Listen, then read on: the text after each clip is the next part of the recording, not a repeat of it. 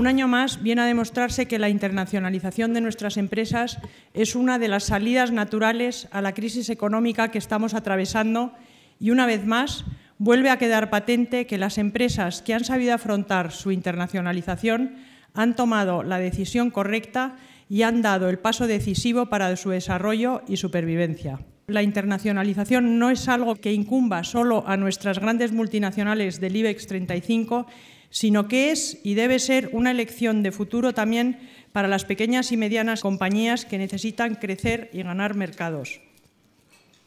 Un ejemplo de ello lo tenemos hoy con la presentación de este anuario en el que los socios del Círculo, mediante una encuesta, han decidido distinguir la trayectoria de internacionalización no solo de las grandes compañías como Banco Santander, Iberdrola y OHL, sino también de medianas como Fluidra, Maxam, Tubacex y Privalia.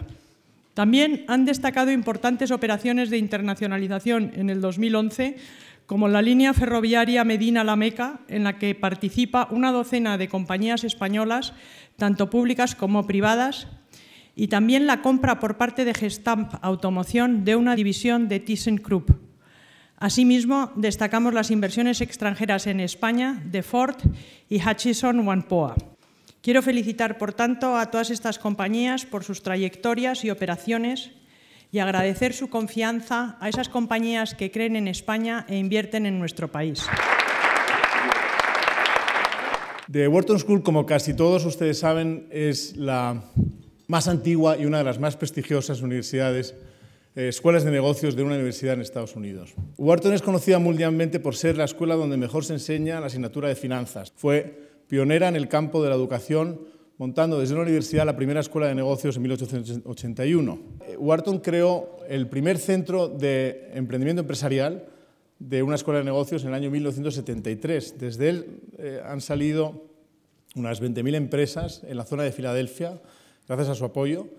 Y otro ejemplo muy concreto de cómo apoya la escuela a este tipo de empresas es un proyecto llamado eh, Pitch Tent Plan, que lo podéis ver en internet también.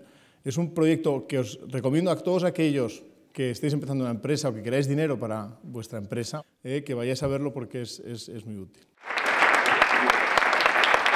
La internacionalización juega un papel esencial en la actual coyuntura económica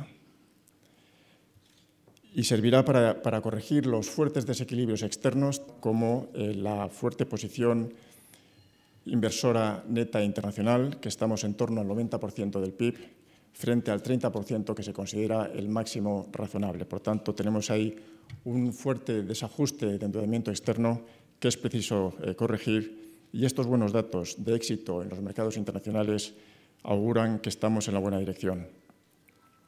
Sin duda, estos éxitos responden al espíritu emprendedor, a la capacidad de gestión, al éxito empresarial de las empresas, pero también a la buena evolución de los costes salariales.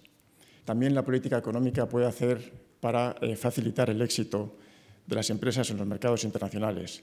Y en este sentido, el programa de reformas estructurales juega un papel importante.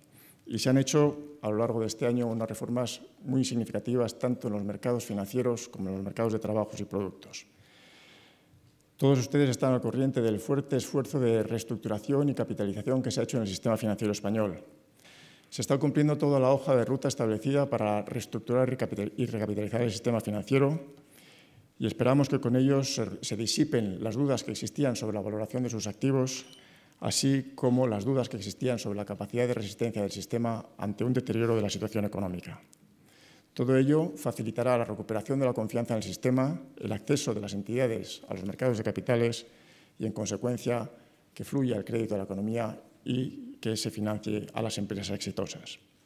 Enhorabuena otra vez por este excelente trabajo y por este excelente éxito de las empresas españolas.